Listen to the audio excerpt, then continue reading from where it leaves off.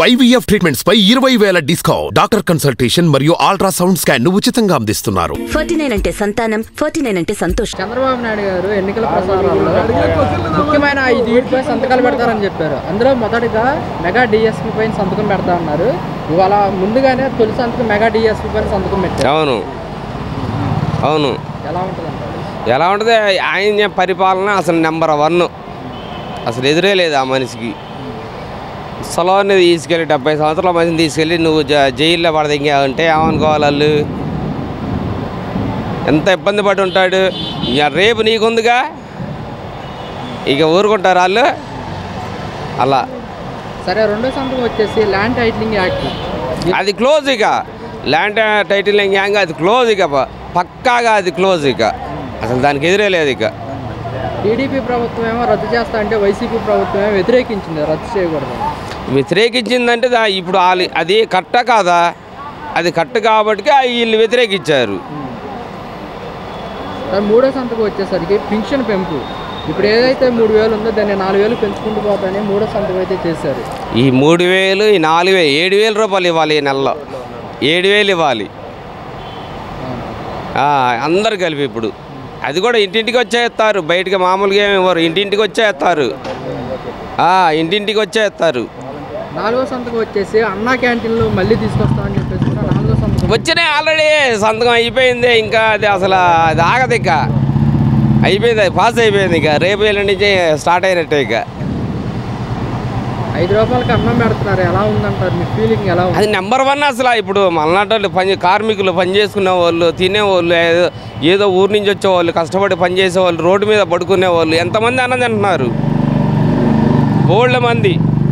చాలామంది అన్నం తింటున్నారు ఆడి వల్ల వచ్చి నాశనం నాశనం చేశాడు. పోనీ ఆడన్న పెట్టే రన్నింగ్ చేసినా పోయేది. పోనీ అన్న క్యాంటీన్ కాకపోతే పోనీ వైఎస్ఆర్ క్యాంటీన్ పెట్టుకున్నా పోయేదిగా. అది కూడా లేకుండా నాశనం చేశాడు. ఐదో సంతకం వచ్చేసి స్కిల్ సెన్సెస్ అని చెప్పేసి నిరుద్యోగ వృత్తులు స్కిల్ క్యాంటీన్ ఆ, అవును. అది నెంబర్ వన్. ఆయన చంద్రబాబు గారు పెట్టింది అది ఫస్ట్. అది పెట్టింది ఆయన కూడా అది నెంబర్ వన్. ఇంకా డెవలప్ అయ్యింది ఇప్పుడు ఇంకా డెవలప్ అయ్యింది మా పిల్లలు కూడా అక్కడే చదువుకుంటున్నారు. దాంట్లో జాబులు వాళ్ళు వాళ్ళు పిలిచి ఈ ఉన్నాయి అన్ని జాబులు చేస్తున్నారు ఇప్పుడు. చెప్పిన మాట ప్రకారంగానే ఈ ఐదు సంతకాలు పెట్టారు. పరిపాలన ఎలా ఉండిపోతుందంటారు నెంబర్ వన్గా ఉంటుంది. ఆయన ఇప్పుడు ఒక రోజు రెండు రోజులు చేసిన ఆయన కాదుగా నలభై సంవత్సరాల నుంచి మాకు ఇప్పుడు యాభై సంవత్సరాలు. ఇంకా ఆయనకేముంది ఆయన ఎదురే ఉండదు. దాంట్లో నెంబర్ వన్ చంద్రబాబు నాయుడు గారు ఎన్నికల హామీగా మొదటి సంతకం మెగా డిఎస్పీపై పెడతా అన్నారు. మాట ప్రకారంగానే సంతకం పెట్టారు. దీన్ని ఏ విధంగా చూడొచ్చు అంటారు అతను చెప్పింది చేస్తానండి కరెక్ట్గా లాయింగ్గా ధర్మం పాటిస్తున్నాడండి. కానీ అతను ఒక రూపాయి పని పని మాత్రం చేయలేడు. కానీ ఒకటి చెప్పన? అతను ఒక రూపాయి ప్రజల గురించే చంద్రబాబు నాయుడు వచ్చాడు. ఆ తర్వాత మన పవన్ కళ్యాణ్ గారు అలాగే వచ్చాడు. పవన్ కళ్యాణ్ గురించి కానీ మాట్లాడితే నిగాచ్గా లెక్కచ్చగా అన్యాయం ఉన్న దగ్గర లాయం జరుగుతాను అని మన మా అన్న పవన్ కళ్యాణ్ చెప్పాడు. అలాగే చేశాడు.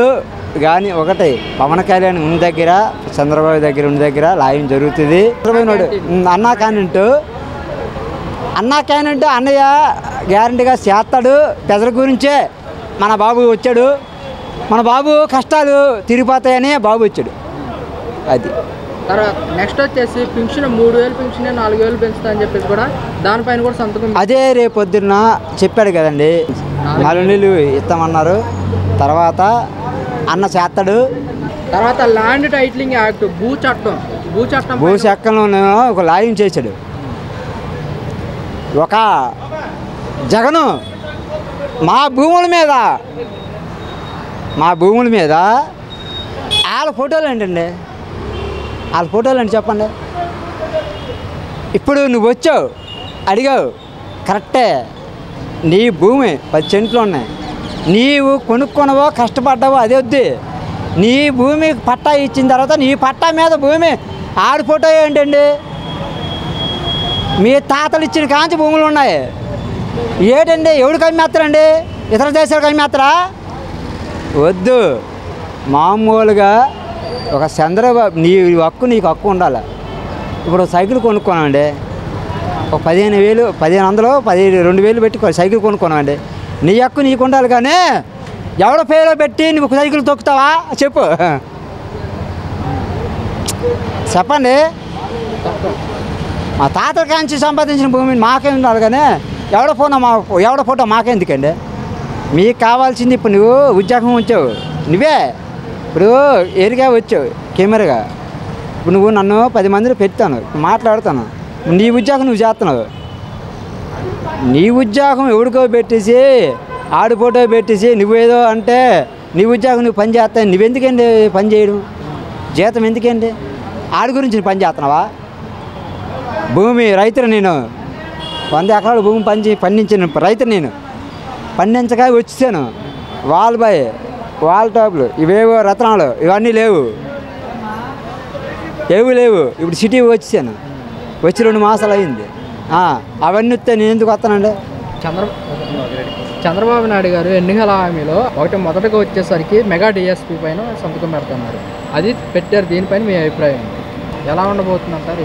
కేంద్ర గవర్నమెంట్ చేతిలో ఉంది కాబట్టి ఏమైనా ఇస్తే ఇచ్చు. డిఎస్సి పోయినసారి జగన్మోహన్ రెడ్డి కూడా మన డిఎస్సి తీశాడు. అది మరి ఎన్నికల కోడ్ వల్ల మరి తాత్కాలికంగా నిలిచిపోయిందేమో తెలీదు. మరి చంద్రబాబు నాయుడు అయినా సరే ఈసారి ఉద్యోగస్తులకి మంచి పని చేయాలని ఎవరైనా కోరుకుంటాం రెండో సంతకం వచ్చేసరికి ల్యాండ్ టైటిలింగ్ యాక్ట్ అంటే భూ చట్టం కింద రద్దు చేస్తున్నానని చెప్పేసి కూడా చంద్రబాబు నాయుడు గారు రెండో సంతకం పెట్టారు. ఆయన దాని మీదగా మనం పోరాడింది. పోరాడింది కూడా దాని మీదగా గెలిచింది కూడా దాని మీదగా. జగన్మోహన్ రెడ్డి చేసిన తప్పు చేయకుండా ఉంటాడని జనం కూడా అదే కోరుకుంటారు. ఎందుకంటే జగన్మోహన్ రెడ్డి నరేంద్ర మోడీ ఎంత ఒత్తిడి పెట్టినా సరే మనం ఎలక్షన్కి వెళ్ళే ముందు అలాంటి తప్పులు చేయకూడదు.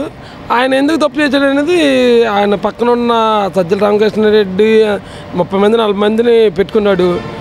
మరి ఆయన అయితే జగన్మోహన్ రెడ్డి అయితే ఏ తప్పు చేయలేదు. కానీ ఆ సలహాలు రాంగ్ ఏమో అని మేము అనుకుంటున్నాం. ప్రజా ప్రజాభిప్రాయం అయితే మాది. తర్వాత మూడో సంతకం వచ్చేసి పెన్షన్లు. ఇప్పుడైతే మూడు వేలు ఇస్తున్నారు. దాన్ని నాలుగు వేలకు పెంచుకుంటూ పోతాని మూడో సంతకం అయితే పెట్టారు. దీన్ని ఏ విధంగా చూడొచ్చు? జగన్మోహన్ రెడ్డి కూడా మొన్న మేనిఫెస్టోలో మూడు వేల ఐదు వందల దాకా ఇస్తానన్నాడు. కానీ వీళ్ళు అంతకన్నా ఎక్కువ ఇస్తానని ప్రజలు ఆకర్షణ ఉండొచ్చు. వాళ్ళు నాలుగు వేలు పెట్టారు ఆరు వేలు పెట్టారు ఒకటి పదివేలు పెట్టారు ఇంకోటి పదిహేను వేలు కూడా పెట్టారు కదా. పూర్తి అంగవైకల్యం ఉన్న వాళ్ళకి. దానివల్ల కూడా కొంత ఆకర్షణ అయి ఉండొచ్చు.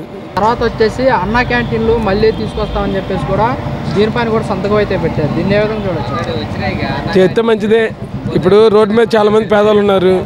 ఐదు రూపాయలకి ఐదు రూపాయలకి అన్నం పెడుతున్నారు వాళ్ళు. జగన్మోహన్ రెడ్డి కూడా దాని మీద ఎందుకు అలసత్వం వహించాడో తెలియదు అది జే కిషన్ కిషన్ సంస్థ వాళ్ళు పెట్టింది. వాస్తవం అది. ఇదేం చంద్రబాబు నాయుడు పెట్టిన పథకం అని చంద్రబాబు నాయుడు అన్నా క్యాంటీన్ అని ఆయన పేరు పెట్టాడు కానీ జగ మన రాష్ట్ర గవర్నమెంట్ బడ్జెట్లో నుంచి ఏమి ఇవ్వలేదు. లాస్ట్లో కూడా ఆయన కూడా చాలా క్యాంటీన్లు కూడా తీశాడు. కానీ ఈ మీడియా ఫోకస్ వల్ల బయటికి రాలా. కొన్ని చోట్ల రన్ చేశారు కొన్ని చోట్ల ఇక్కడ ఆపేశారు. అందరికీ తెలిసిందే. అదే జై కిసాన్ అది. పెట్టింది జై కిసాన్. జై కిసాన్ వాళ్ళకి మన దేశంలో చాలా చోట్ల వాళ్ళు ఇలాంటి అన్న క్యాంటీన్లు కాకుండా జై కిసాన్ అన్ని చాలా నడుపుతున్నారు. కానీ చ చంద్రబాబు నాయుడు కూడా ఈసారి నడపాలని కోరుకుంటాం మంచిది. ఎందుకంటే పేద ప్రజలు రోడ్ల మీద ఉన్న వాళ్ళకి ఐదు రూపాయలు అన్నం దొరికితే మంచిదే. మంచి ఫుడ్ పెడితే. చంద్రబాబు నాయుడు గారు ఎన్నికల హామీలో మొదటి మొదటి సంతకంగా మెగా డిఎస్పీ పైన సంతకం పెడతాన్నారు. తొలి సంతకం. పెట్టారు దీనిపైన మీ అభిప్రాయం ఏంటి? ఏం పెడితే మంచిదేగా అందరికి ఉద్యోగాలు వస్తాయి. అది అంతకంటే చేసేదే ఉంది. మంచిదేగా ఉద్యోగాలకు చాలామంది బాధపడుతున్నారు. వేరే రాష్ట్రాలు వెళ్ళి బతుకుతున్నారు. ఉద్యోగాలు ఇచ్చాక వాళ్ళు బతుకుతారు అది. అంతకు తప్ప ఇంక చేసేదే ఉంది రెండో సంతకం వచ్చేసి భూ చట్టపరం అంటే కనుక ల్యాండ్ టైటిలింగ్ యాక్ట్ పై రద్దు చేస్తామని కూడా చెప్పారు. దీన్ని అయితే చంద్రబాబు నాయుడు గారు రెండో సంతకం కింద పెట్టారు.